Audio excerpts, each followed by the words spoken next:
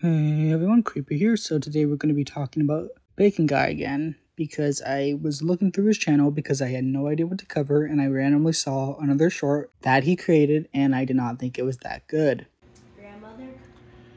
Grandmother, who's coming? Burnt bacon. Why won't I watch Nimona? I've talked a lot about Netflix's great animated movies recently, and you guys in the comments have been suggesting one movie more than any other. Nimona, a film about a shapeshifter who helps a wrongfully accused knight clear his name. I gotta say though, I'm gonna skip on watching Nimona, and the reason why isn't gonna be popular. You know what? I'm sure that this piece of bacon has an incredible and valid reason to not watch Nimona but it's because of the LGBT storyline. What? Let me explain before you cancel me. I don't like it when LGBT storylines or characters are put in children's media. For one, I don't think that's the kind of thing children need to be worried about. Why exactly would children be worried if a movie shows that two boys like each other? But secondly, I think parents should be the one to talk to their kids about sexual topics, not billion dollar corporations. And when those billion dollar corporations try, I don't want to be the guy to support them with my money or my channel. Well, it's not sexual. Boys liking boys is not sexual. Many children movies have straight kisses and straight relationships, and they are not seen as sexual so it should not be seen as sexual that there are people of the same gender liking each other within a children's movie. I didn't see Lightyear, Elemental, or Strange World in theaters, partially because two of them looked horrible, but mostly because I don't want to support this kind of children's entertainment. Reminder that these movies barely have any LGBTQ plus content. Lightyear has a gay kiss that's barely seen, it's like one second. Strange World has a boy talking about how he likes another boy, once again, for like a split second. And Elemental has a non-binary character. I feel bad sometimes even suggesting kids content with LGBT messages even if they're as minor as Onward or Gravity Falls. Well, the other movies were already minor, but Onward is just a random character mentioning that she has a partner that's of the same gender. And I literally had to look up Gravity Falls because I had no idea what they were talking about. Apparently, maybe they're talking about Wendy being bi or the two cops being gay. I actually don't know because this piece of bacon just says that there's LGBTQ plus content, but never explains what it is. But the thing that frightens me most about this video is how casual the bigotry is. He says all this so casually while saying that people existing is inherently sexual. We don't see straight relationships that way, and gay relationships would be no different. I really do hope Bacon Guy can not